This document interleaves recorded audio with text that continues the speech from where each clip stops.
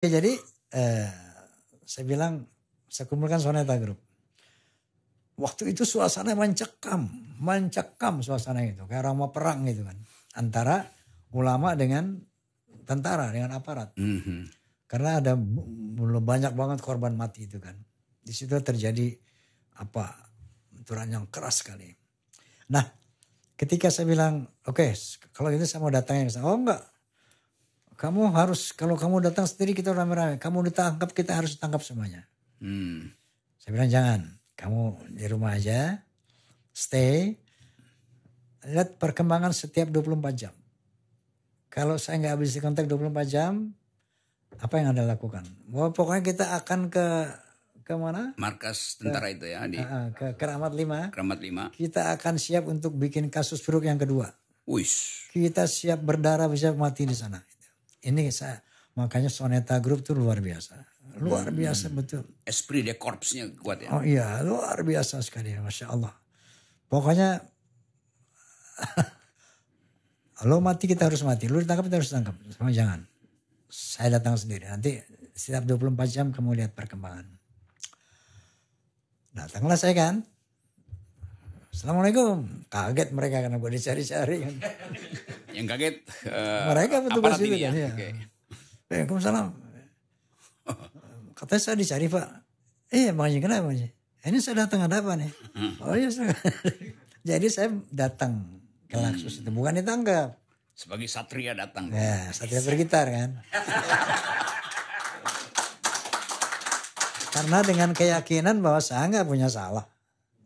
Apa yang mau ditangkap gitu ya. Dengan keyakinan itu setelah saya saya pikir-pikir gue salah apa gitu ya. Nggak, nggak ada kesalahan. Datang. Proses lah. Proses verbal kan. Pakai mesin tik itu taktik taktik taktik. taktik. Gitu. Oke terima kasih Pak. Saya izin pulang. Oh nggak bisa Bang Haji. Loh jadi harus tinggal di sini gitu kan. Ini prosedur. Loh harus nginap sini? Iya Bang Haji.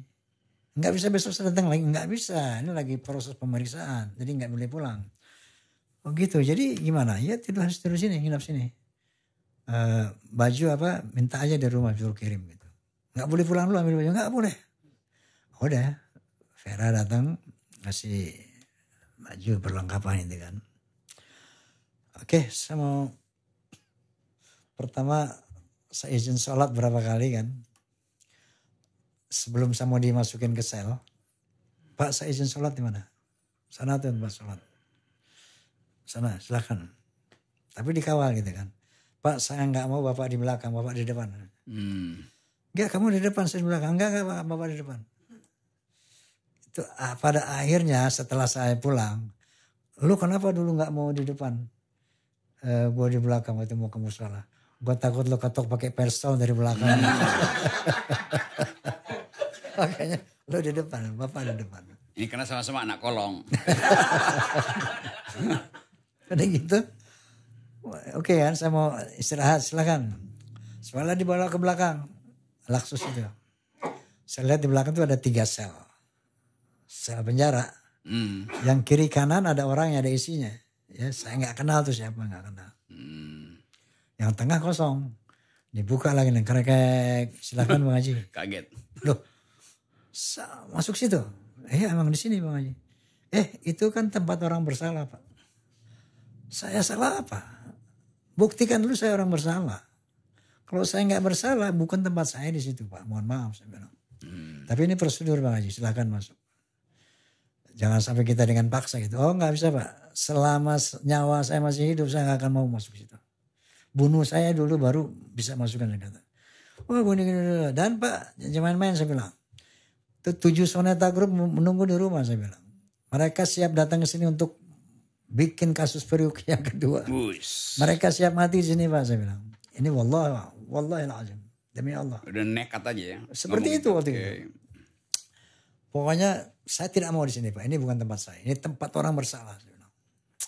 Akhirnya telepon lah Pak Tri Sutrisno waktu itu beliau Pangdam. Pangdam Jaya. Pangdam Jaya. Pak Tri bla bla bla bla. Ya udah kasih di kamar atas aja. Akhirnya saya tidur di kamar atas.